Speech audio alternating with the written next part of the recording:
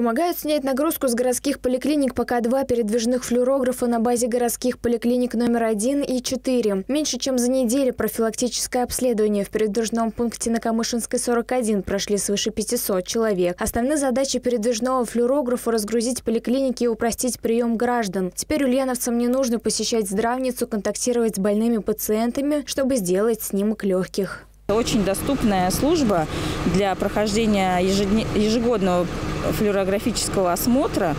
Быстрое, доступное, малодозовое исследование. Очереди небольшие, они постепенно тянутся.